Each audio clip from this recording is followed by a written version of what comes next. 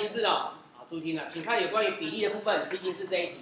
他说有个人呢装有来关键字圈起来，两罐相同重量的，相同重量把它圈起来的酒精溶液的罐子。注意哦，相同重量哦，这个是最容易把你骗到的地方。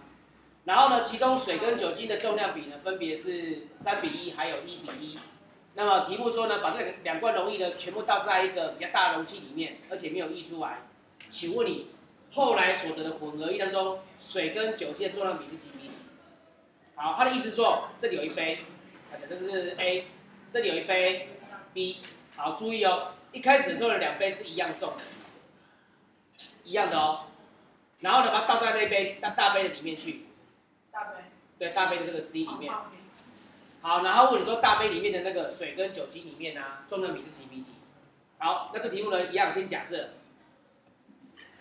来，我们假设 A 杯的，A 杯的那个酒精跟水是多少呢？来看这边，它不是写说水跟酒精不是三比一吗？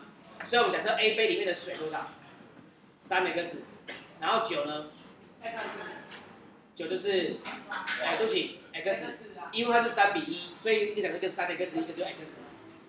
会了哦，好，然后另外一个 B 杯的话呢，水是多少？因为它是一比一嘛，所以假设它是多少？y，啊酒嘞？y，也是 y。会了哈。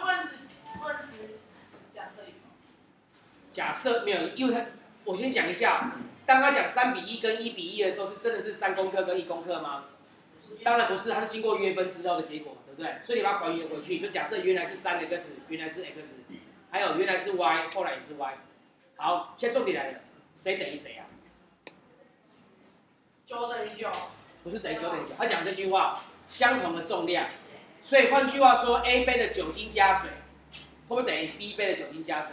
会。会，所以这两个相加，三 x 加 x，A 杯的酒加水啊，应该会等于 B 杯的什么？酒加水，会等于 y 加 y，所以得到结果是四 x 等于二 y。所以请问你？二 x 不是等于 y 吗？除以二嘛，所以请问你 x 比 y 几比几？